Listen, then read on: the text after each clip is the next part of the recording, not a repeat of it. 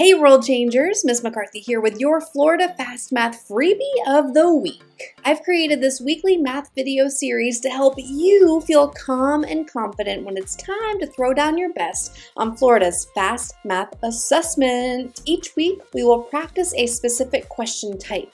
Now these videos, they're short, they're sweet, and they are to the point. And if you are looking for some more videos to help you practice, I'll point you in the direction of those videos at the end of this video today. The focus for this week is drumroll! Matching item. So let's not waste any more time. Let's get to it and let me teach you. All right, fifth grade, here is your problem this week. Go ahead and pause the video to try to solve this one on your own first. And then when you're ready to continue, press play.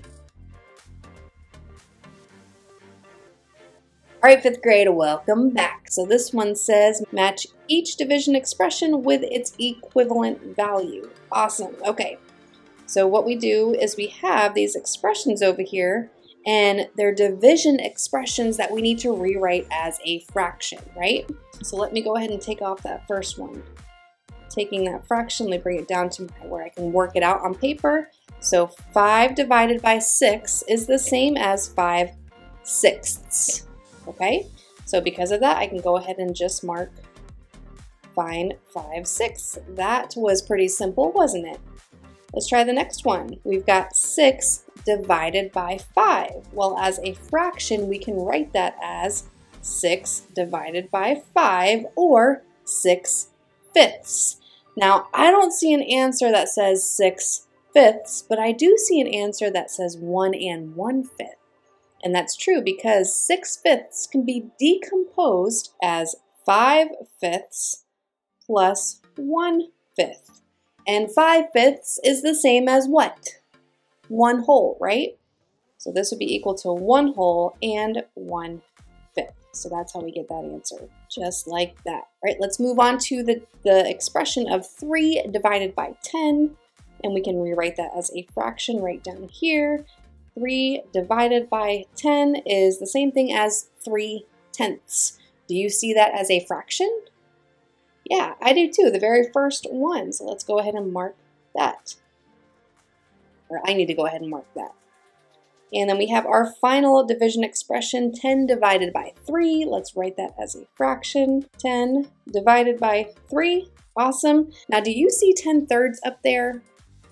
I don't either, but I see three and one third, which I believe is equivalent, but I'm going to make sure that it is first. Okay, so 10 thirds could be decomposed as three thirds plus three thirds, that would be six thirds, plus three thirds would be nine thirds, plus I'm running out of room about one third. There we go. So three thirds plus three thirds plus three thirds plus one third does equal 10 thirds.